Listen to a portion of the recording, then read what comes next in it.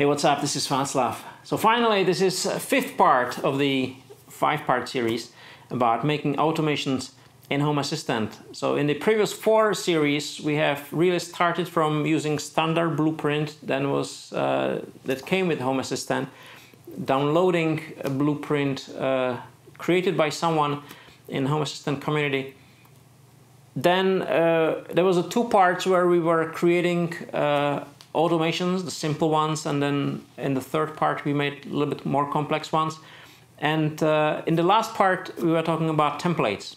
And we're gonna use all of that and wrap it together and we're gonna create a blueprint that we can either use in our own home assistant. We can reuse it for multiple automation scenarios, but we can also, more importantly, share it back with the community so other people can actually use something we have created, which is the reason I'm really making all this, uh, all those videos, because I really want to grow this community of creative people who share their automations with the others. So I'm really looking forward for it. So today we're gonna pretty much build on everything uh, we have done in the past. There's one more, one more thing, additional thing uh, I'm going to talk to you about, which is selectors, which is the sort of header of the uh, blueprint where we're going to create this sort of uh, graphical user interface that's going to allow you to configure uh, the parameters of the blueprint. But after that, it's going to be pretty straightforward. So let's get started. Right, so um, so we're gonna create something. A couple people ask me, and that is to create an automation that is going to remind me that uh, there's gonna be a garbage collection in the following day. That is when you uh, sorting your garbage. Uh, this is uh, we're gonna do it for my garbage collection integration. So if you use that, it's gonna be immediately useful for you. If you don't, uh, then let me just introduce to you what it does. So uh, this is an integration that uh, creates, allows you to create number of entities. And each entity, uh, there's like a pattern you can configure uh, how often and when you are uh, collecting your garbage. So for example, in my case, so this is my real case, uh, I have uh, four types of garbage. So this is the general waste that is collected every other week on Wednesday and there is a plastic and paper that is collected uh, on Friday. Uh, one week plastic, the other week paper, and so on. And then the bio waste, which they collect twice a month during the summer and spring, and uh, once a month in, in the winter. And what it does, it creates those uh, sensors. So let me just uh, show you one of those. So this is the sensor for the bio-waste and it gets a couple of attributes. So this is the day for the next collection and it says it's gonna be in nine days. And it also has a state which has uh, three possible values. It's either zero when the collection is today, it's one when the collection is tomorrow, or it's two when the collection is uh, sometimes later and I'm using those three states because then I can render those uh, different picture entities there's going to be either green or amber for example or gray in this case if the collection is sometimes in the future. And so we're going to create a blueprint that will allow me to create an automation uh, to set reminders for those different garbage types. But uh, I'm lazy, so I'm not going to create the blueprint from scratch. And um, I'm going to start by creating a automation for one of those entities. I'm going to pick up the bio waste. And then once I have it, uh, I have a working uh, automation. I'm going to take the body, the content of that, and I'm going to turn it into a blueprint, replacing the actual values uh, by the inputs uh, for the blueprint. So let's start. So I'm gonna go into configuration and uh, to create automation previously we have usually started from blueprints to create it from a blueprint if we had one. Well we don't have a blueprint yet. We're gonna just create it right? So we'll have to start from automation and scenes. And in here create automation here on the right bottom. Hmm. it's asking me again do you have a blueprint? I told you I don't. So let's start with an empty automation. And here we can name the automation. Doesn't really matter, right? We're not gonna uh, use the automation, so it doesn't matter. We don't have to give it a name. What is important is the trigger. So how are we going to trigger the automation? That's quite interesting question. Um, I had a couple of uh, discussions with people which had quite a logical uh, thinking that it's really triggered by the garbage collection entity changing the state, right? Or changing the attribute number of days. And that's what drives this, right? That's what drives the notification. Well, that's a, that's a good thought, but when is the number of days till the next collection date changing, right? The dates are changing at midnight, right? So if I would trigger this uh, automation or this blueprint by changing a date, it will send me the message on midnight, which is not very practical. So, so they ask me, so how do I uh, delay it? So I trigger the automation and then I wait till some like six o'clock or eight o'clock in the evening to send the notification to your phone then. So uh, it's doable. You could, I suppose, create a timer or you could do some other complicated things. But it's completely unnecessary. we don't have to do it. Because what we really want to do is we would like to send a notification at a given time in the evening. Or there could be other events that could trigger it, for example, when you come home. But let's keep it simple. Let's, for this example, for this blueprint, let's say we will trigger it at specific time. So let's run the automation at specific time. So we'll say trigger it by a time and it's going to be fixed time and let's say it's going to be 8 p.m. Uh, every day. So we will send a notification at 8 o'clock in the evening. But we don't want to send it every day, right? We only want to send it when the garbage collection is going to happen the following day. Uh, for that reason, we have the condition, right? So we end a condition. And the condition is going to be if the state of the garbage collection. So I'm going to pick up the bio waste. And uh, I could pick the state, but uh, I'm going to collect. I'm going to pick the attribute days instead. And the reason I'm going to do it because this uh, garbage collection it has, it's got a parameter verbose state which allows you to instead of the state 0 1 2 uh, have the state in in uh, in English like today, tomorrow, or in a couple of days. So if you would configure it, it, wouldn't work. So I want to make it universal. So I will uh, have a condition that the number of days is one. So what we've just done is it will every day at 8 p.m. check whether the uh, garbage collection is going to be in one day. If yes, then it's going to continue and send a notification. And if not, then it's going to just end there and check it in the following day. So that's cool. Now we can just send a notification. So I have a couple of ways to do that. I can either do it by calling a service, but I'm going to uh, use the device action uh, for my mobile app device, which I have on my phone uh, because it's going to allow me easier in the blueprint uh, to configure the selector. So for the device, I'm going to go for my mobile phone. So it's a, a Vašek, which is the mobile phone. And then the action, well, there's only one, send notification. And in here, in the message, well, I'm just say text because I'm to configure it in the blueprint. So I'm to just put some placeholder in here. So this is it. Uh, this is my uh, automation, what it really does is I have this uh, fixed time trigger, then there's the condition, and then there's the action. So I can save it. In fact, I don't have to save it. What I could do is I can just uh, click on those three dots in here, go to YAML, and I can just uh, select and copy that. So Control Command C, and then I can exit from the automation, I can leave and I don't have to really save it.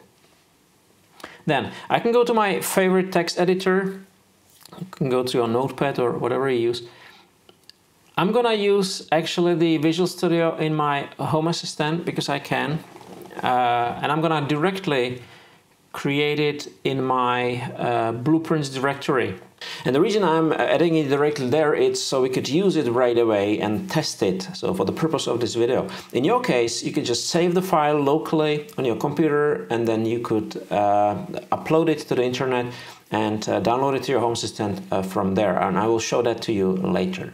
So the blueprints, they are in the config blueprints. Uh, and then there is two directories, scripts and automations, because blueprints, they could be either for scripts or for automations. I think I'm gonna do one more video, I'm gonna talking about scripts. So uh, this is for automation. And then uh, you could put the blueprint directly there, but there could be a bunch of directories based on where the blueprints came from. There's those two which came uh, with Home Assistant. Uh, and I have uh, my uh, GitHub repository in here, Bruxy70, where I have those uh, blueprints that um, uh, I have created and downloaded from my GitHub. So I'm going to put it in there. So I'm going to say uh, create new file here, and I'm going to name it garbage collection, and the extension is going to be YAML. Right, and then here I'm going to paste what we have just created. And I don't like this in the beginning, so I'm going to just cut it, and I'm going to put it at the end, really. Now, uh, it's complaining it's missing property blueprint. What is property blueprint? I think it's time to go uh, to a documentation. So I'm going to go into, I'm going to open a new window and I'm going to go for uh, Home Assistant documentation. There we go. And uh, here I'm gonna go to documentation and uh, we're gonna go for blueprints. And there, there's a tutorial how to create a blueprint. So let's see. Right. So it's saying to create a blueprint, you first need to have a working automation. Well, didn't we just do that?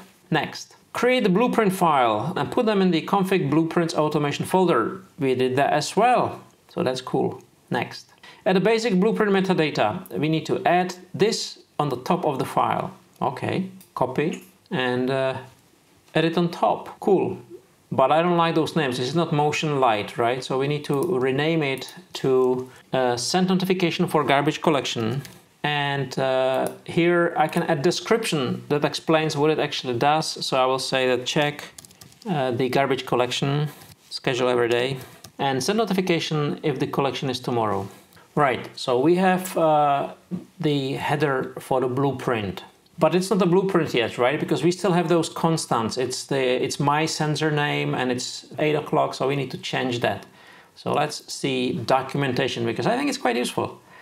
So define the configurable part. Exactly, this is what I was just saying. So we need to have this uh, part called inputs and they need to uh, replace those specific uh, constants by something with exclamation input and the name of the input. And the way how it's going to look like is just like that. Input and then the name. So let's do that. Um, so I'm going to go in here and I'm to say inputs and I'm to have uh, four inputs. So the first one is to be notify time and uh, I'm to just copy this and I'm to have it here instead of the 8 o'clock then I'm gonna have another one, which is gonna be the garbage collection entity. Again, copy, and it's gonna be here instead of this one. And we need to put there really the uh, input, right? Almost forgot. There you go. Then next, uh, there's this device, which is this ugly name. So we need to have the notification device, copy, input, device. And finally, there is this text. So we will say notification text. And again, copy, input and uh, notification text. So that's cool. So we have replaced that. Then uh, it's saying that the uh, property inputs is not allowed. Now it complains, I think it's input, not inputs. Uh, and here it says the uh, it's supposed to be object and uh, we just have incorrect type because it's missing something, right? Let's see what it's missing. So uh, we need to add friendly names to the input. So it's going to be name and description let's do that so we need to head here notification time so there's going to be name and uh, the name it's going to be something friendly well notification time but without the underscore and then there's going to be the uh, description and here we're to say send a notification at this time a day before the collection date and we're to do the same for the other three uh, so I'm to just pause the video and uh, I'm to resume when I'm done. Right, so we have our uh, inputs defined and it's saved. So uh, we can actually test it. So I can go into configuration settings, I can uh, reload automations and then when I go to blueprints it should show me send notification for garbage collection. I think there's a typo, we can fix that, but send notification for garbage collection. So this is our blueprint, and if I say create automation, uh, it uh, says it's from the blueprint, which is send notification for garbage collection. There's the description, and there's the four inputs, and it's going to create automation, which is called the same as the blueprint. That's cool. The only problem with that is uh, the inputs are just a simple text field, so this is not very useful, not very uh, user friendly. Remember this device number? I would have to type it in here. Th that's kind of um, not very nice, so we need to improve that. Uh, so let's go back uh, to the uh, Visual Studio. Uh, first of all, there is this send notification. There you go. Uh, so how do we improve the blueprints? So let's go back to our documentation. Uh, there you go, describing the inputs, exactly what we needed. So uh, it says that you can use those selectors and the selectors, they could go some like entity with the domain. You can click in that. And there's different types of selectors. So time, well, we need time, right? If you say it's selector time, then it's to allow me to enter the time just like that. That's cool. Let's do it. Uh, so notify time and uh, we will say it's selector and it's to be time. Cool. Garbage collection entity. So here it's to be selector. It's to be entity. I think that was entity, wasn't it? So let's see entity and the entity is going to allow us to have integration, now, which is going to be our garbage collection. Otherwise, I would uh, see all the entities in Home Assistant, all the lights and all the switches and sensors. I don't want that. So what I'd like to have for the entity is to have integration of garbage collection. Then the device, you want to see the device. So it's going to be selector and the selector is going to be a device and the device is going to be from integration. In fact it's a it's a mobile app because it's going to be the my mobile phone where the home assistant application is running. So we have that. Let's test this. Configuration settings reload come back blueprints. Uh, okay this is fixed. You can create automation and look at that so send notification for, and let's configure it. It's gonna be BioWaste. And uh, then it's gonna be 8 p.m. entity, right? And it's showing me only those garbage collection entities. So we're gonna go for the BioWaste device. It should show me only those mobile phones. So Yana, Clara, me. So my mobile phone and a message, it's gonna be the garbage, the biowaste is tomorrow. There we go, and we can save it. And if I save it to create automation, and it did because it showed me those controls in here, and I can test it, I can run it in here, so it's pretty cool. So I have uh, created this blueprint. So what I can do is I can go to the blueprint and I can create another one for another garbage entity, right? So I could do that. Uh, so it's quite useful. I have it on my Home Assistant and I can reuse it. And cool thing about that is if I wanted to update the blueprint, I can change that and then reload the automations and it will update all the different automations. So it's pretty cool. But I want to do more than that. What I want to do is I want to share it with the community. So how are we going to do that? So I'm going to select this whole thing and I'm going to uh, copy that to my clipboard. And I can share it in two different uh, ways. Uh, one way is if I go here into the blueprints, there is this discover more blueprints and it's gonna take me uh, to the Home Assistant Blueprint Exchange. And I can create a post in here and I log in and uh, there are some rules how to do it and I can share it with the community through this. There's another way to do that because I have uh, my uh, GitHub, so I can go to my GitHub and in my GitHub uh, there is something uh, that uh, you can create which is called Gist which is uh, which is like a cloud clipboard if you will you will just put a snippet of code which I will be able to share with the others on the internet. So let me do that.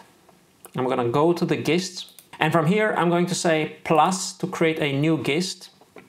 And in here I'm going to just uh, paste our file and I'm going to uh, put a file name there. So it's going to be garbage notification .yaml and then I'm going to put there a description. Well, I will say this is a I will copy I will copy this uh, name in here, but I will say this is a uh, Home Assistant blueprint automation blueprint to send send a notification for a garbage collection. And so this is my gist. I'm going to create public gist. So I'm going to just click on the create and we have our gist. So what I can do is I can just uh, click on that and then uh, there is this uh, link which I can copy. So this is the address of my gist. So if I now want to give this to someone, uh, then he can import it into the Home Assistant. Let me show you. I'm going to delete uh, the um, garbage collection blueprint in here. So I'm going to just delete that. And if I would just give the link to someone, he will say import blueprint. He will paste the URL in here and uh, click on preview blueprint it will find it, it will say this is the blueprint path where it's gonna put it in my Home Assistant and uh, I can see it in here and I can say import blueprint and here it is, it's imported and now I can create the automation just like that. So this is actually a way to share it, but there is a better way, a nicer way to do that because we can create something called badge, which is gonna create a nice picture uh, it's uh, I use that in my GitHub. If you uh, go to my, for example, garbage collection repository, there in the documentation, you see there are those uh, buttons. Those buttons, uh, these are the uh, badges that you could create. And to do it is there is this create link, which is on the My Home Assistant IO create link. You can Google for it. Uh, and in here, so I'm gonna create link and I'm going to create link for a uh, blueprint start import.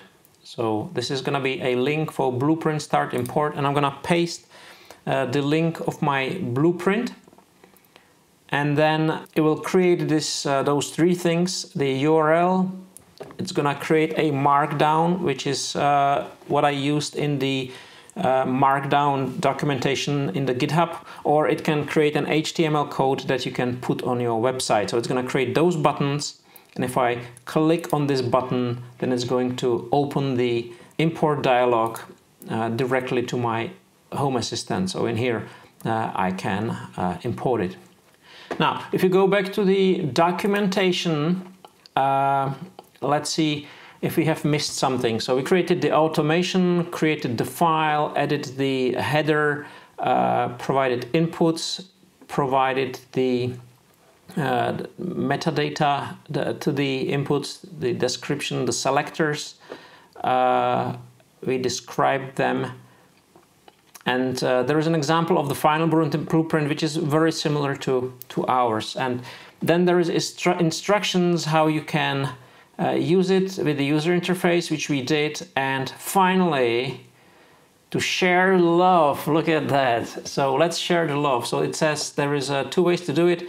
Informal sharing using gists and uh, share it on the Blueprint Exchange uh, which we have done as well. So I think we covered everything. It actually quite closely followed the documentation, which is quite interesting. So if you want to refer back to it, you don't have to rewatch this whole video. You can just go back to the documentation because it pretty much documents step by step exactly what we did today. So now you know how and you can start creating your first blueprints and share it with the others. So this is the end. Uh, we have uh, finished our five-part series about making automations in Home Assistant. Uh, I was, I, am really interested uh, whether you have uh, completed it all the way to the end or whether I've lost it you uh, somewhere in the middle. But I, I, guess if you're watching this speech, then you probably keep watching. So it's kind of cool. Congratulations. Uh, sometimes I'm uh, criticized, or, or maybe criticize the wrong word, but sometimes people comment that uh, I'm making it too complicated, that it's too, too complex, that Home Assistant is too complicated.